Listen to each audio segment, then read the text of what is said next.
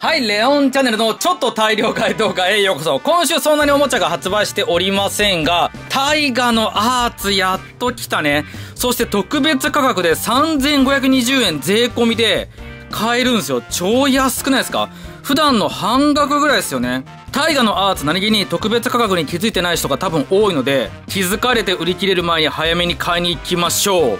てか今年のウルトラマン面白かったな大河ももう終わりか。あとは春映画ですよね。でももうちょっと見たかった感はある。配信限定とかでスピンオフやってくんないかな。そして LBX 再販系がナイトメアとルシファーも来ましたね。さらにまさかのタイミングで、竜ソジャーの新アイテム、デラックス竜ソカリバーが来ましたね。定価は5280円で、3680円の竜装剣をベースにしながら、騎士流デザインをより強調したような見た目になってて、マントを羽織ってるんですよね。マックスでゴテゴテになった後に割とスッキリするっていう。でも竜装ジャーパワーアップとかいいんだけどさ、なんか5人同時変身とか5人のロボで戦うとか、そういうシーンがほんと少なくって、どうしちゃったんですかね。もっとザ戦隊みたいなのを見たいんだけどな。遊び方自体は大体同じで全ての竜ソウルに対応なんだけどあ